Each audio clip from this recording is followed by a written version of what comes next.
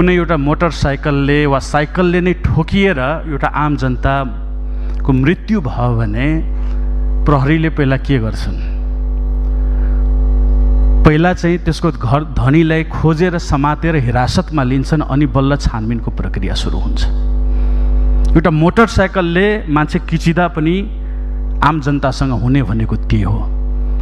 तर यहाँ पुराना भन्दा पुराना थोत्रा प्लेनलाई ल्याएर सञ्चालनमा ल्याउने सञ्चालक त्यसलाई अनुमति दिने टोली र इन्सपेक्टरको टोली उडान भर्नलाई अनुमति दिने इन्सपेक्टरको टोलीलाई प्रहरीले पक्राउ गरेर छानबिन गर्नबाट कुन चाहिँ विधि र प्रक्रियाले रोकेको छ त्यो हामी जान्न चाहन्छौँ।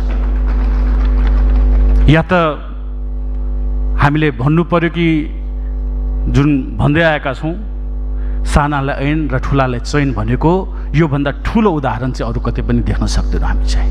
त्यही भएर सामान्य गृह मान्य गृहमन्त्रीज्यूसँग मेरो आग्रह छ यस विषयमा गम्भीरताका साथ छानबिन गरियोस् र तपाईँहरू कमसेकम हाम्रो आशाको रूपमा आउनुभएको छ तपाईँ चाहिँ कमसेकम प्रक्रियावादी नबन्नुहोस् यति चाँडो चाहिँ भनेर गृहमन्त्रीजीलाई अनुरोध